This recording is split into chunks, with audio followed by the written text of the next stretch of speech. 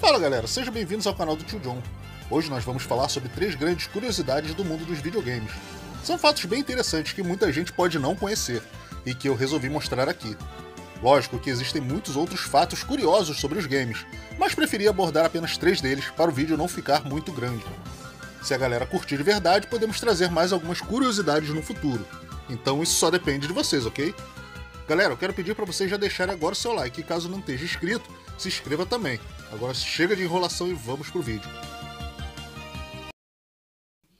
Carro vermelho na garagem do jogo Double Dragon é o carro do game Road Avenger. O designer de games Yoshihisa Kishimoto, que trabalhou na Tecno Japan e participou do desenvolvimento dos jogos Double Dragon, Renegade e River City Ransom, também conhecido como Kunio-kun no Japão, colocou um curioso easter egg em Double Dragon. No início do jogo, quando Marion é sequestrada, a porta da garagem é levantada e revela os heróis que partem à procura dos vilões. Mas a grande curiosidade dessa cena é o carro vermelho que se revela dentro da garagem. Ele é baseado num Firebird Trans AM, o mesmo veículo que aparece no jogo Road Blaster, ou Road Avenger, como é conhecido fora do Japão.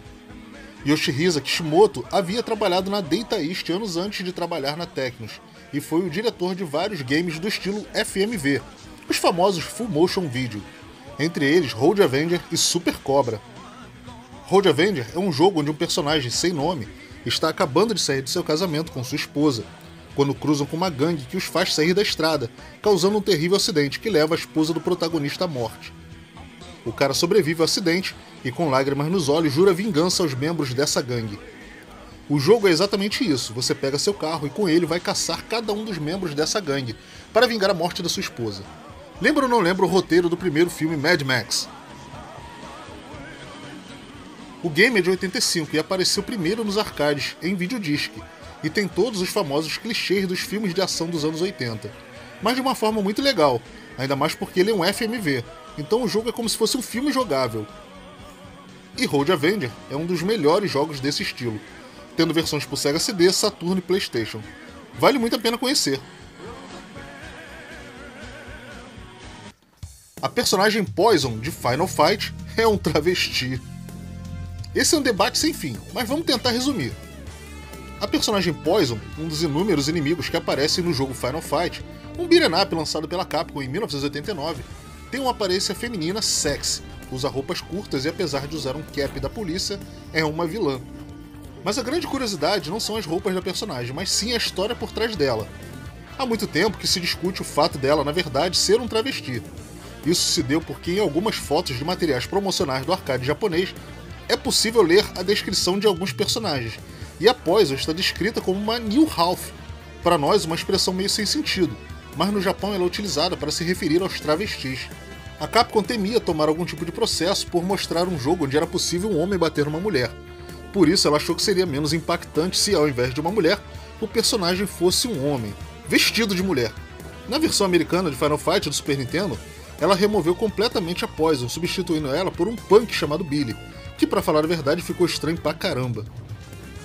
Lembrando que toda essa história do gênero sexual da Poison só está presente na versão japonesa do game arcade. Na versão americana de arcade, ela é sempre referida como uma mulher. Outro detalhe bem revelador apareceu na coletânea Capcom Classics Collection.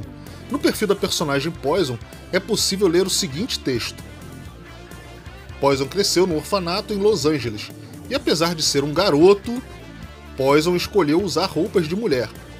Ele, quer dizer, ela, sente que lutar é a melhor maneira de ficar em forma e também de manter o seu visual.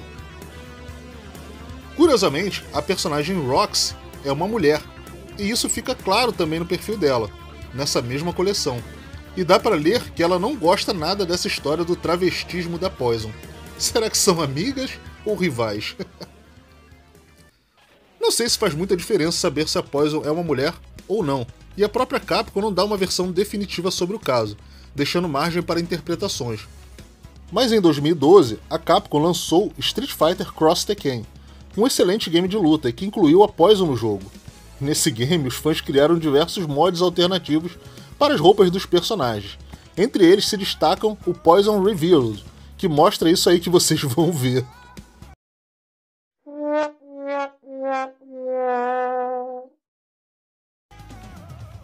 É lógico que isso aí é coisa de fã, e provavelmente eles não têm nenhuma ligação com a Capcom, sei lá, né?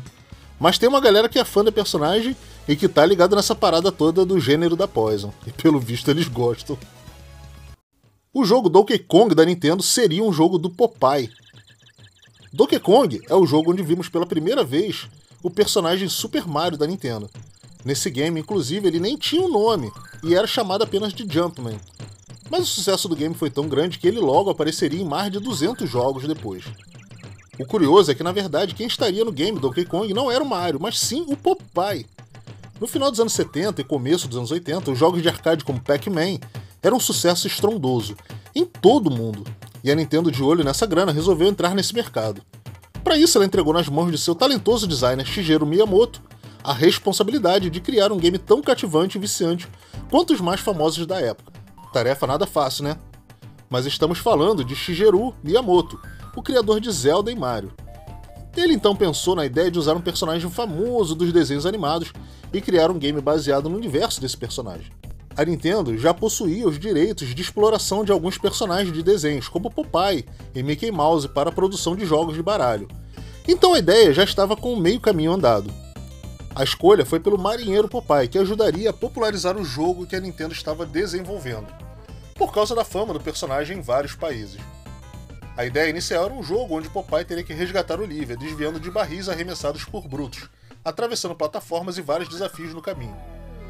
Bom, como a produção do jogo demorou mais do que deveria, o presidente da Nintendo acabou desistindo da ideia de ter o personagem Popeye no game e resolveram mudar todos os detalhes que envolviam ele no game. Shigeru Miyamoto usou outra inspiração para compor os personagens do game, e ela veio do filme King Kong, sucesso na época. No final, Brutus virou um gorila, Olivia se tornou a Pauline e Popeye se tornou o carpinteiro Jumpman. Nessa versão, o carpinteiro maltratava seu gorila de estimação, que revoltado resolve sequestrar a namorada dele. Ou seja, o Super Mario nasceu meio que um vilão no primeiro game. Coisa que ficou ainda mais clara no segundo game, Donkey Kong Jr., onde jogamos com o filho do gorila original e tentamos escapar das armadilhas do personagem agora já conhecido como Mario. Com o sucesso de Donkey Kong, finalmente a Nintendo desenvolveu um jogo do Popeye, que foi lançado nos fliperamas e portado para vários consoles caseiros na época. Mas é muito interessante saber que o maior personagem da Nintendo nasceu como um substituto para um jogo do Popeye, inclusive ele até guarda algumas semelhanças no visual. Bom, pelo menos nos traços iniciais do seu primeiro jogo, né? Bom, é isso, galera. Espero que vocês tenham gostado. Se gostou, deixe seu like. Se não está inscrito e gostou do conteúdo, se inscreva também. Agradeço a todos que assistiram o vídeo até aqui. Um grande abraço e nos vemos no próximo vídeo. Tchau, tchau.